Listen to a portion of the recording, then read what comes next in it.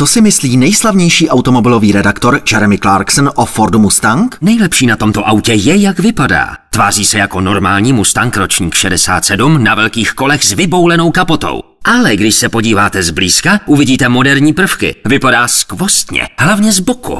Tak, řekl jsem svému kamarádovi, že je to šrot. A teď sám přemýšlím, že si ho koupím. Více se dočtete v novém časopise Top Gear. Top Gear, nejčtenější automobilový časopis na světě.